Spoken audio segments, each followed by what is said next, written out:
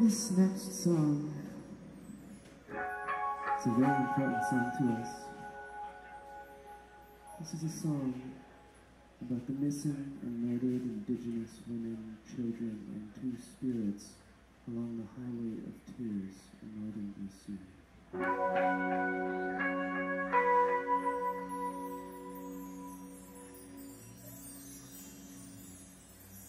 The song called End of the World.